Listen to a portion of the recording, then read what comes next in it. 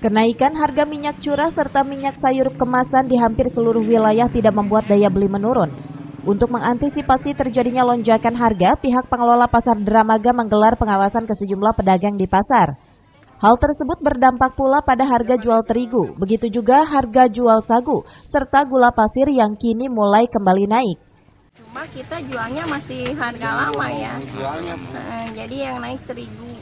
Terigu dari berapa? per, eh, dari 178 sekarang 181. Terus selain terigu apa? Selain terigu gula pasir naik juga. Naik juga. Nah, gula pasir naiknya per bal 5000. Baru Dua- tiga hari ini sih, kalau gula sama terigu baru ada Dua, gini. dua pekan ya. Kalau ya, Ke, ke- dua kali datang barang ya. Iya.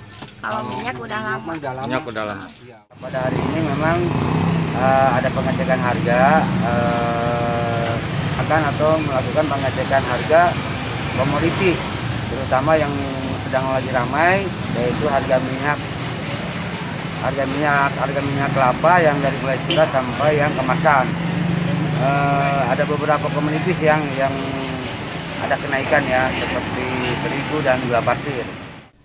Dan untuk mengantisipasi terus naiknya harga minyak curah serta minyak kemasan dalam kurun waktu satu bulan terakhir, membuat pihak pengelola pasar menggelar pengecekan ke seluruh pedagang agar kondisi tersebut tidak membuat daya beli menurun.